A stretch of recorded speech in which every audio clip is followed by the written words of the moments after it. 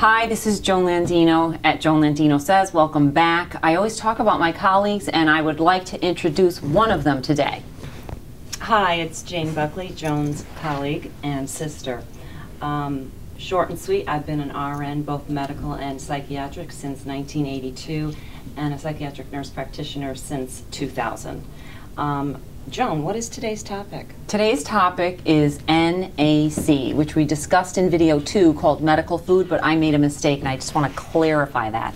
I said I don't know what NAC meant, and it is N-acetylcysteine. Apparently, my colleagues remember from over 30 years ago that it was also called Mucomyst, a common um, respiratory treatment for thick secretions, um, for example, in cystic fibrosis, to thin the secretions.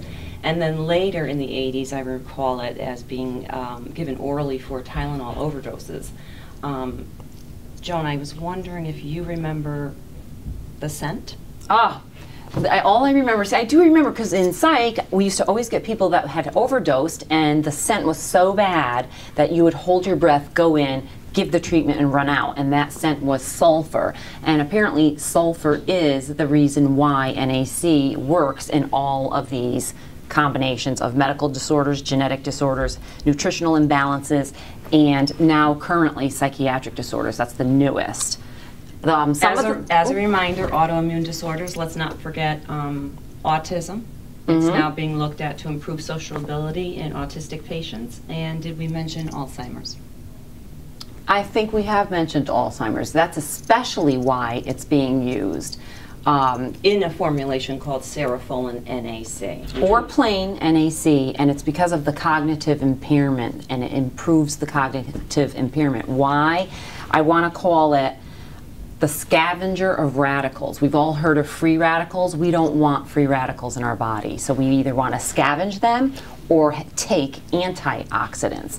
And I want to say that NAC is the what of all antioxidants. What do you think?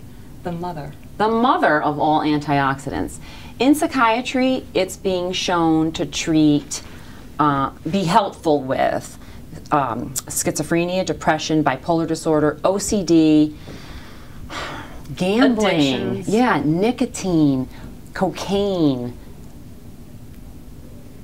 there was one other one nicotine, cocaine, gambling, and other addictions, and as well as some of the autoimmune diseases that Jane has already mentioned. Anything, what is an autoimmune disease, Jane? For example, lupus, um, they are now thinking fibromyalgia. An autoimmune disease is any disease where your immune system turns against you and starts attacking your own body. And I'm having a conversation here, and I do realize that I disagree with some of the treatments for autoimmune diseases. They work initially, but they actually further decrease your immune system. So you feel better, but then down the road, it further deteriorates you. What are some of those treatments, Jane, since you did so much medical?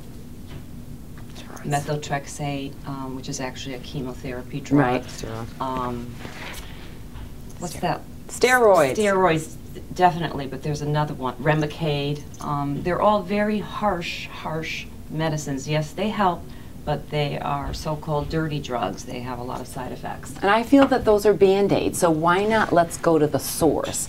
So again, NAC, we're going to call it, actually stimulates our own glutathione. That's another big word. We make it inside our bodies. Glutathione is our endogenous or inside antioxidant. So why can't I just take glutathione? You're asking me, aren't you? I am. I think I know the answer, but the I am asking you. if you take glutathione on its own, it is destroyed in the GI system and just excreted. What a bummer. I bet you it's really inexpensive. So anyway, we um, mainly, we don't treat Alzheimer's, but mainly we try to prevent it. So there's normal cognitive impairment, and then there's moderate and severe. So one out of two humans will most likely, with moderate cognitive impairment, get Alzheimer's disease. That is scary because in 2011, I think it's 2011, they said it was the sixth leading cause of death so if you have somebody with Alzheimer's in your family, not only you deserve the help, but not only they deserve the help, but you deserve the help too. And I believe the costs were projected at $172 billion annually, and that was just Alzheimer's alone. So how do we get glutathione if we aren't taking NAC, or if we're taking NAC and we'd like more glutathione being produced in our bodies? Oh, since you're so about food as well as I am, I think there's a lot of foods that can increase our own glutathione production, which are what? I know the cruciferous vegetables, broccoli. Wait, what's that word again? I'm sorry, what? Cruciferous. Cruciferous. Is that a Greek word? No, it- it's actually a Latin term, but it's broccoli and cauliflower. One note, I must say this every, every anytime I learn something new. If you want to go and overdo broccoli and cauliflower every single day, and don't add in kale and Brussels sprouts um, and romaine, uh, you're going to affect your thyroid gland in a negative manner. And we don't want that, especially with females. We definitely don't want a thyroid Definitely not. problem at all. And there's others. Um, there's supplements, vitamin C, vitamin E, selenium. can And also- NAC alone, And NAC alone. which you can increases. have. Uh, let's not forget milk thistle. It was commonly used, uh, it's an herb, milk thistle, commonly used many years ago for liver failure or liver damage. And it's sort of gotten to be not in vogue anymore, but um, milk thistle stimulates your own glutathione. Oh, I want to say one other thing as to why it works in psychiatry so well.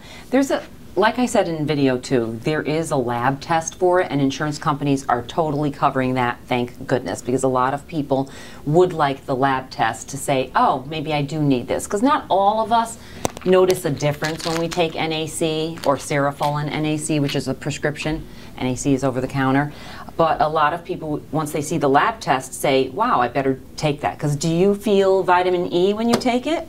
I don't. No. Not at all. So the reason it's been working in psychiatry is it is modulating neurotransmitters, especially glutamate and dopamine. Everybody's heard of dopamine, which is our reward center, but glutamate is an excitatory neurotransmitter. We needed that to run from tigers years ago, run from most men. Sorry, that was a pun not intended. And we just needed to, to just run from other tribes. So, or if we were Native American, we, we needed to run from us, white people. So what we did was gluta, glutathione, glutamate, our excitatory neurotransmitter. We have too much of that now. So I call it let's calm the beast, the beast within us, and that's why NAC is so important in psychiatry lately. And to add to that, Joan, that's so interesting. So people were running back in the day. Yeah. A lot of exercise. Yeah. Interestingly enough, exercise also increases your own stimulation of glutathione. I didn't know that. Wow. Didn't Why would that. we know that? Because We we're Leos and we don't much. exercise. All right, well, I think that that should be a wrap. And if you have any other questions about NAC, Cerefolin NAC, or if you want the lab test, please contact my website at joanlandinosays.com. Thank you, Jane. I have one last comment. Yeah. You're very welcome, Joan, and thank you for having me here. Um, in the Lancet, a, a very um, famous British medical journal, they did a study on glutathione levels and found the highest glutathione levels in young, healthy um, adults and the lowest levels of glutathione in aging, sick, especially hospitalized elderly. So, my last question do you think we've put our feet in the fountain of youth? I think we found the fountain of youth. How about that? Thank you so much, and I'll see you next time.